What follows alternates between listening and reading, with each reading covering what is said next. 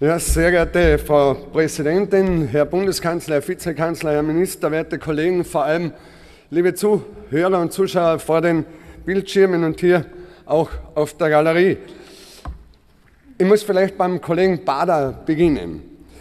Ich weiß, dass äh, die Wahrheit im Wertekompass der ÖVP nicht vorkommt. Das haben wir äh, spätestens seit den letzten Enthüllungen des Herrn Strolz erfahren, wie mit der Wahrheit umgegangen wird. Aber der Wahrheit gehört die Ehre gegeben. Und daher äh, werden wir das schon einmal aufrollen, bitte, warum der Herr Bundeskanzler im Zuge der letzten Bundesratssitzung nicht zu uns gekommen ist, weil er uns eine Zeitvorgabe gemacht hat, dass er um 8 Uhr kommen würde und um 9.15 Uhr den Saal verlassen würde. Ja? Das heißt, wir haben nicht einmal ausreichend Zeit zur Diskussion. Und wir bekommen vom Herrn Bundeskanzler die Zeitvorgabe, wenn wir, wann wir hier als Bundesrat zu erscheinen haben. Und nein, Herr Kollege Bader, das geht so wirklich nicht.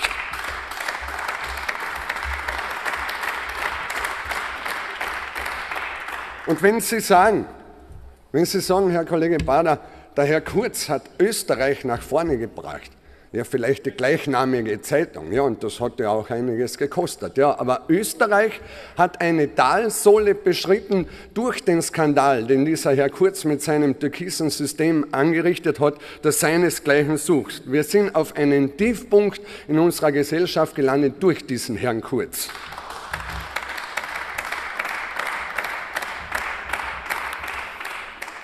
Und auch das Einzige, was demokratiepolitisch bedenklich ist, das ist nicht die Freiheitliche Partei Österreichs, nein, das sind die Abgründe des türkisen ÖVP-Systems. Und da liefert ja die Frau Kollegin Gitstaller, jetzt ist sie leider nicht im Saal, heute wieder mal den besten Beweis dafür, dass die Amnesie und Realitätsverweigerung in der ÖVP grenzenlos ist. Da hat die Moral einen absoluten Tiefpunkt erreicht und sie geht heute her und bedankt sich beim Herrn Kurz, dass er zurückgetreten ist. Ja, was hätte denn die türkise Kamarilla noch aufführen müssen, dass es gerechtfertigt wäre, endlich den Posten zu räumen? Und Herr Bundeskanzler, wenn Sie heute von einem Krisensicherheitsgesetz sprechen, ja, das braucht Österreich wirklich. Aber ein Bedrohungsszenario haben Sie dabei vergessen. Und das ist das Bedrohungsszenario für Österreich durch diese türkise ÖVP und durch diese Bundesregierung. Denn das wäre notwendig, um unsere Bevölkerung vor dieser Koalition zu schützen, die uns ständig von einer Krise in die andere führt. Hier würden wir wirklich einen effektiven Schutz brauchen. Denn was dieser türkise Sumpf in den letzten Wochen und Monaten zutage gefördert hat, das ist an Erbärmlichkeiten nicht zu überbieten und macht nur noch fassungslos. Da hat sich vor Jahren eine Truppe mit einem Heilsbringer mit Allmachtsfantasien formiert, sich ein türkises Mäntelchen übergestülpt und damit angefangen, Kaufhaus Österreich zu spülen. Übrigens namensgebend für einen späteren Rohrkrepierer. Nur war es kein Spiel, sondern absolute Realität und System. Man kauft Medien, man kauft Meinungsumfragen, verleiht dem Postenschacher eine noch nie dagewesene Dimension, gibt der Kirche Vollgas, schwärzt die Justiz an, missbraucht Steuergeld und inszeniert sich täglich als selbsternannte Gottheit. Und daher hat diese Prätorianer-Truppe mit ihrem Messias auch nie vorgehabt, für Österreich zu arbeiten sondern das einzig und alleinige Ziel war es, dieses Land und seine Menschen in Geiselhaft zu nehmen. Machtrausch, Käuflichkeit, Lügen, Abhängigkeit, Verschleierung und Manipulation sind das politische Tagesgeschäft dieser türkisen Bussi-Bussi-Familie, die ja sogar die ehrenwerte Gesellschaft in unserem südlichen Nachbarland Italien blass aussehen lässt. Das ist das Sittenbild der neuen Volkspartei, dieses türkise System. Und dieses türkise System, ja, das wird ja vertreten normalerweise von den Damen und Herren links und rechts neben mir. Heute sind sie etwas reduziert auf der sogenannten Regierungsbank, wobei das keine Regierungsbank ist, sondern eine Bank des Versagens. Eine Bank des Versagens, wenn es um Moral und Anstand geht, eine Bank des Versagens, wenn es um Respekt vor dem Rechtsstaat geht und vor allem eine Bank des Versagens, wenn es um die Menschen geht geht, wenn es um die Arbeit für die Menschen geht, in türkiser Doktrin, wenn es um den Pöbel geht. Und meine Damen und Herren, das betrifft ja nicht nur die Türkisen, nein, das betrifft ja auch den grünen Appendix. Den jene Grünen, die irgendwann einmal unter der Vor- äh, ähm, oder Obmannschaft des jetzigen Vizekanzlers plakatiert haben, wen würde der Anstand wählen? Ja, das hätte Ihnen damals schon beantworten können, die Grünen mit Sicherheit nicht. Der Machtrausch, der Machtrausch, der Sesselkleber, der Steigbügelhalter und die Inkompetenz würden Grün wählen. Letzteres beweist ja nahezu alltäglich der Herr Gesundheitsminister in allen Facetten und daher passt ja Türkis und Grün sehr gut zusammen. Das sind nicht zwei Welten, das ist eine Welt. Das ist eine Welt des Überbordwerfens von Prinzipien, eine Welt des Werteverfalls, eine Welt des Raubes von Grund- und Freiheitsrechten, eine Welt der Verbots- und Einschränkungspolitik, eine Welt der Inkompetenz und eine Welt, in der die Zukunft Österreichs den eigenen Parteiinteressen zum Opfer fällt. Stets nach dem Regierungsmotto, koste es, was es wolle. Und von wem wird diese Welt jetzt angeführt? Von einem Kurz Intimus in Form des neuen Bundeskanzlers, der nicht Systemerneuerer ist, sondern die Rolle des türkisen Systemerhalters in diesem Trauerspiel innehat und eine Impfung mit Sicherheit über die Jahre mehrfach erhalten hat. Und das ist die Impfung mit dem türkisen Serum.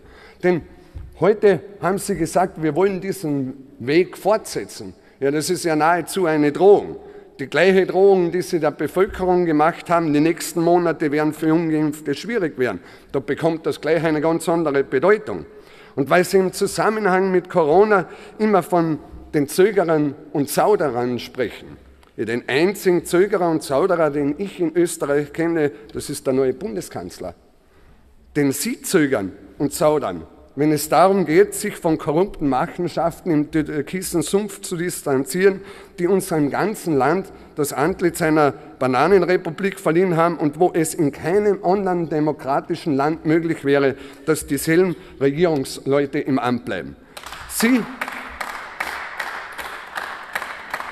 Sie haben gezögert und gezaudert, den Ex-Kanzler noch bekannt werden der strafrechtlichen Vorwürfe sofort, sofort zum Rücktritt aufzufordern. Im Gegenteil, sie haben noch unterschrieben, dass es ohne Kurz als Kanzler keine Bundesregierung mit ihnen geben wird. Eben übrigens interessant, dass alle, die das unterschrieben haben, noch immer in Amt und Würden sind und sich wieder eindrucksvoll einmal bewiesen hat, wie hoch die Glaubwürdigkeit dieser neuen ÖVP ist.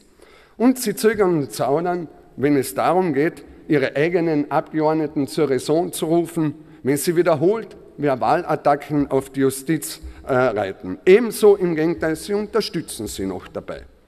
Wo es dann aber kein Zögern und Zaudern gibt, wenn es gilt, dem gefallenen Messias volles Vertrauen auszusprechen und mantraartig die Unschuldsvermutung einzufordern.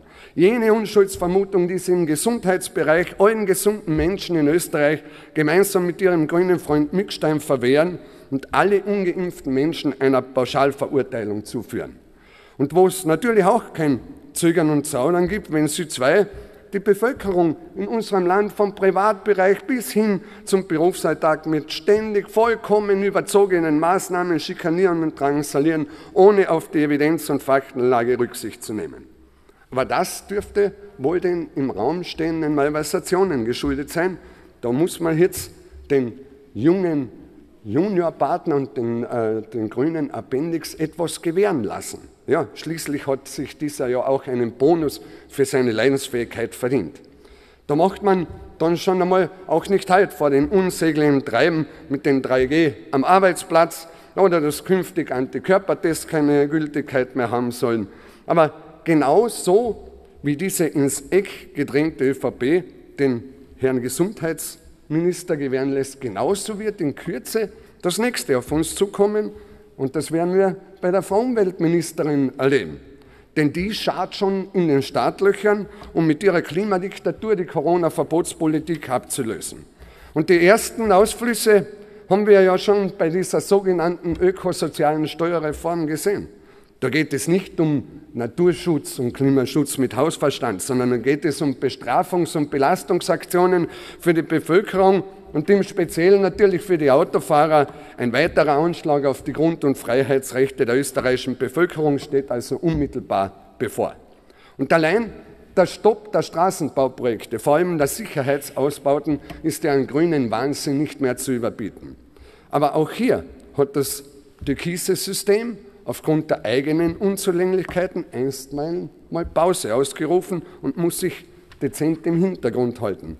Da kann nicht einmal mehr der Finanzminister die Reißleine ziehen, denn der ist ja bei den Machenschaften der türkisen Truppe nicht nur dabei gewesen, sondern der war ja mittendrin.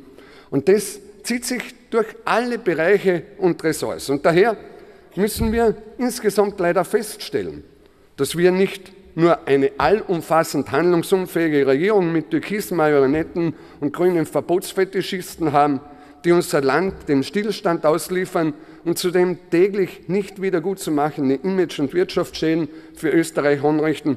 Vom Tourismus möchte ich auch gar nicht sprechen, weil wenn wir hier hören, was die Wintersaison für viele Touristiker bedeuten wird mit ihren Maßnahmen, da möchte ich gar nicht wissen, welche Auswirkungen das für die Menschen in unserem Land haben wird. Wenn Sie eine Funken Herr Kollege Ofner, ich möchte Sie bitten, zum Ende zu kommen. Sie haben die Redezeit bereits über, Redezeit schon überschritten. Ja, Frau Kollegin, auch Sie darf ich darauf aufmerksam machen. Sie wissen als Präsidentin, wie es mit der Redezeit entsprechend bestellt ist und dass das eine freiwillige Redezeit ist. Das habe ich Ihrem Kollegen das vorige Mal gesagt. Äh, bitte das auch so zur Kenntnis zu nehmen. Wenn Sie einen Funken man hat sich trotzdem auf eine Redezeit ähm, hat man vereinbart. Und, aber bitte kommen Sie jetzt einfach zum Schluss. Danke. Wenn Sie einen Funkenanstand hätten, geschätzte Mitglieder dieser Regierung, dann würden Sie zu Ihrem abgegebenen Versprechen stehen und als Minister mit allen Ihren Kollegen, wie schriftlich versprochen, ausnahmslos Ihren Rücktritt erklären. Österreich würde das auf jeden Fall gut tun. Aber ich weiß, darum geht es Ihnen nicht.